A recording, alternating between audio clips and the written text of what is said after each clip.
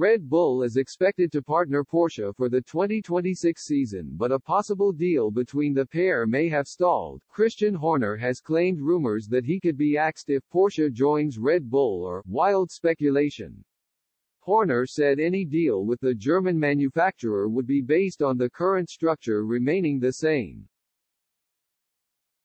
The comments were made after F1 journalist Oliver Mole claimed Horner was afraid he could lose his job if Porsche joined the sport. But the Red Bull boss denied the claims over the Dutch Grand Prix weekend as he confirmed he had a long-term commitment in place. Horner said, There's always wild rumors in this paddock.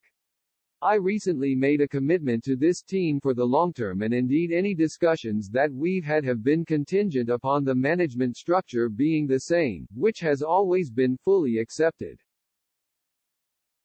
So I don't really need to comment on wild speculation. Audi announced they will join F1 with Sauber from the 2026 season at the Belgian Grand Prix last week. However, Porsche are yet to make their intentions known despite their links over a partnership with Red Bull. Speculation over Porsche's entry to F1 soared after the iconic brand trademarked the phrase F1 Nally.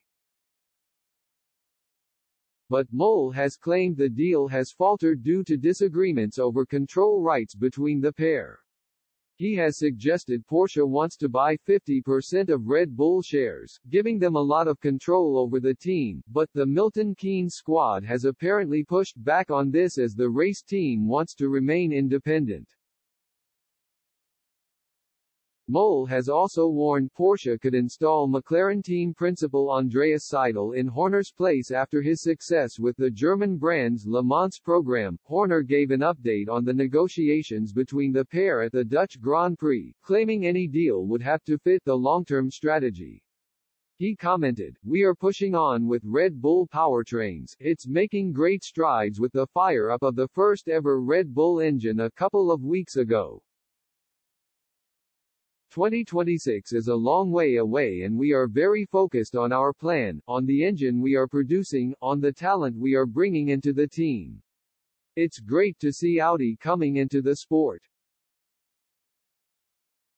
Anything that Red Bull would consider would have to fit with the long-term strategy of the team and as I said there's plenty of time ahead.